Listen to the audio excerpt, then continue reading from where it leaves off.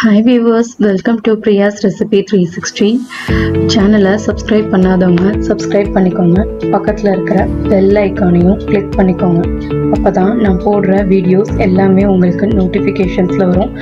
இன்னைக்கு நம்ம பார்க்க போகிறது பெரியவங்கள்லேருந்து குழந்தைங்க வரைக்கும் எல்லாருக்கும் பிடிச்ச கேரமல் பட்டர்ஸ்காட்ச் ஐஸ்கிரீம் செய்ய போகிறோம் வாங்க எப்படி செய்கிறதுன்னு பார்ப்போம்.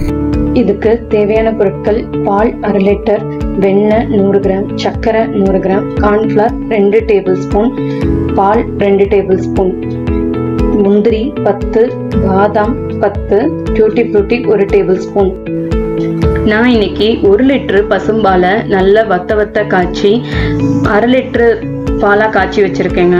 நீங்கள் பாக்கெட் பால் எடுக்கிறதா இருந்தால் ஃபுல் க்ரீம் மில்க்கு எடுத்துக்கோங்க. அப்போ தான் அது கொஞ்சம் கெட்டியாக இருக்கும். பால் வந்து தண்ணியாக இருந்தால் ஐஸ்கிரீம் டேஸ்ட் இருக்காது. நல்லா கெட்டியாக இருக்கிற மாதிரி பால் அரை லிட்டர் எடுத்துக்கோங்க. இப்போ நல்லா பால் காயட்டும். இப்போ நம்ம முதல்ல எடுத்து வச்சிருக்க பாலையும் கார்ன்ஃப்ளவரையும் ரெண்டையும் ஒரு ஃபோக் வச்சு கலந்துக்கோங்க. கொஞ்சம் கூட கட்டி இருக்கக்கூடாது. இந்த மாதிரி ஒரு பவுலில் ஊற்றி நல்லா பாலையும் கார்ன்ஃப்ளாரையும் நல்லா கலந்துக்கிட்டு காஞ்ச பாலில் ஊற்றுங்க இப்போ கார்ன்ஃப்ளவர் மாவு பாலில் போட்டிருக்கனால பால் நல்லாவே கெட்டியாக ஆரம்பிச்சிரும். கை விடாமல் நல்லா கலக்கி விடுங்க. கை விட்டிங்கன்னா சின்ன சின்ன கட்டி ஆக ஆரம்பிச்சிரும். கை எடுக்காமல் நல்லா கட் கலக்கி விடுங்க.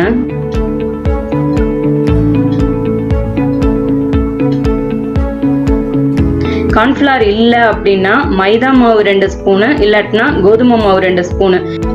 அதையும் இந்த மாதிரியே நான் சொன்ன மாதிரியே கார்ன்ஃப்ளவர் மாவு கலக்கின மாதிரி கலக்கி பாலில் ஊற்றி இந்த மாதிரியே கலக்கி விடுங்க.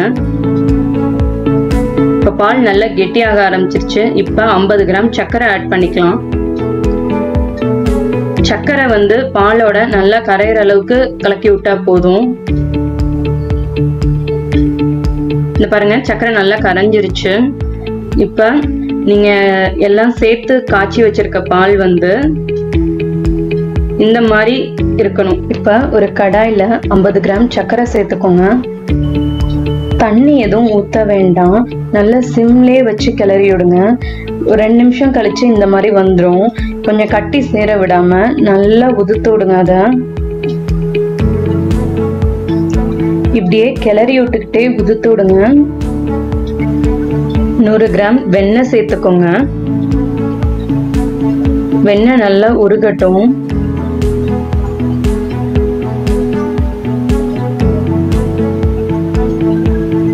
இப்ப வெண்ணெய் உருகிருச்சு. நறுக்கி வச்சிருக்க பாதாம் முந்திரி சேர்த்துக்கோங்க. இப்ப இது வெண்ணெயில நல்லா வறுத்துக்கோங்க. வெண்ணெயில நல்லா பொரியுது பாருங்க. ஒரு தட்டுல நெய்யை தடவி நம்ம வறுத்து வச்சிருக்கத அந்த தட்டுல மாத்திக்கலாம். இந்த மாதிரி ஒரு தட்டுல நெய் இருக்கிற அளவுக்கு பரப்பி விட்டுக்கோங்க. சர்க்கரை பாகு சேர்த்துருக்கனால இது ஒரு அஞ்சு நிமிஷத்தில் கெட்டி ஆகிடும் நெய் தடவுனால இதை நம்ம ஈஸியாக எடுத்துடலாம். இந்த மாதிரி எடுத்து விடுங்க. இது ஐஸ்கிரீம் சாப்பிடும்போது வாயில் கடிப்படும். ரொம்பவே நல்லாயிருக்கும் பாலை நல்லா ஆற வச்சு இந்த மாதிரி பெரிய மிக்சி ஜாரில் சேர்த்துக்கோங்க. இப்போ இந்த மாதிரி ஜூசர் மூடில் முறை வர மாதிரி அடித்து எடுத்துக்கோங்க. மிக்சியில் அரைச்சி வச்சதை நல்ல ஒரு ஏர்டைட் கண்டெய்னரில் ஊற்றி வச்சுக்கோங்க.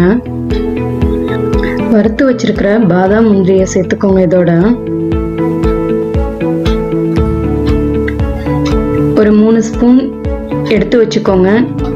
கார்னிஷ் பண்ணும்போது அதை சேர்த்துக்கலாம். இப்போ நல்லா சேர்த்து விட்டுட்டு நல்ல ஒரு மூடியை போட்டு ஏர்டைட் கண்டெய்னரில் மூடி ஃப்ரீசரில் பத்து மணி நேரம் வச்சிடலாம் இப்போ பத்து மணி நேரம் ஆயிடுச்சு. இப்போ திறந்து பார்ப்போம். வாவ் நம்ம ஐஸ்கிரீம் எப்படி ரெடியாக இருக்கு பாருங்க. இதை ஒரு ஸ்கூப் போட்டு இல்லை ஒரு குழிக்கரண்டி போட்டு இந்த மாதிரி நல்லா எடுங்க. கரண்டியில் எடுக்க வரலைன்னா கரண்டியை சுடுதண்ணிக்குள்ள ஒரு தடவை முக்கிட்டு எடுத்தீங்கன்னா நல்லாவே எடுக்க வரும். ஒரு பவுலில் இந்த மாதிரி வச்சு சர்வ் பண்ணுங்க.